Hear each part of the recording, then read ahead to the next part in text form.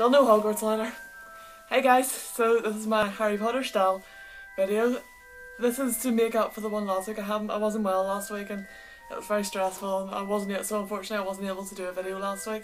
The Sweeney Todd one is still happening on Thursday. My wand is vibrating and I don't know why. Take you out. So you can see just so you can see the full just so you can see you know the full thing. I'm gonna keep this horizontal so it doesn't go weird. There you are. So that's my full outfit.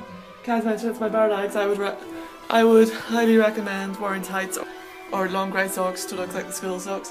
The only reason I'm in my bare legs is because I literally just changed out of my pyjamas and I'm too lazy to put socks on. So you can tell me now. So there you are. This robe is off Amazon. It came the tie came with it. The skirt is a black skater skirt. It's from H&M. The shirt's from Primark. Um, what else? These pumps I'm wearing, they are from Marks and Spencer's. They're ancient, I've had them for years. But I thought what's quite good is because they're sparkly, it kind of looks like magic almost. I know it sounds a bit weird. But um, that's pretty much it. It's a pretty simple cosplay. It is a wee bit expensive. But before I let you go, I want to hear some things from you in the comments. One, what's your Hogwarts house? And two, your favourite Hogwarts class. Okay, I will see you tomorrow for the Sweeney Todd cosplay. See you guys!